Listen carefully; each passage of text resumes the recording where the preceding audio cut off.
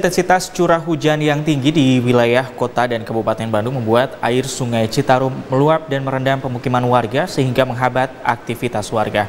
Di kampung Bojong Asi, Kecamatan Dayuhkolot, Kabupaten Bandung, ketinggian permukaan air banjir bervariatif mulai dari 30 cm hingga 1 meter. Aktivitas warga Kampung Bojong Asih, Kecamatan Dayakolot, Kabupaten Bandung kembali terganggu akibat banjir dari luapan air Sungai Citarum yang merendam pemukiman mereka.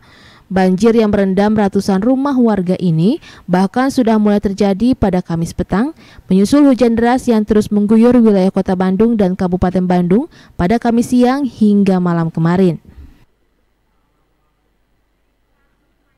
Banjir semakin meninggi karena hujan yang terus mengguyur wilayah Bandung Selatan. Ketinggian permukaan air di Bojong Asi ini bervariatif, antara 30 cm hingga 1 meter.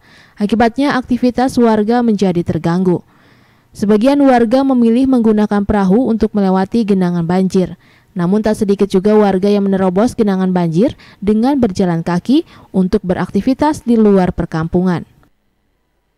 Tadi malam uh, dari kemarin sore ya, sore udah tinggi, malam diguyur lagi besar, uh, tinggi lagi, nambah terus.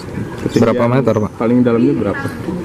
Kalau di saya ya mungkin di sana sekitar 1 meteran. Selain merendam pemukiman di Kecamatan Dayakolot, banjir akibat luapan Sungai Citarum ini juga merendam sebagian wilayah Kecamatan Bale Endah. Banjir selalu terjadi akibat masih banyaknya sedimentasi di dasar sungai yang hingga saat ini masih dilakukan upaya normalisasi. Rezitia Prasaja, Bandung TV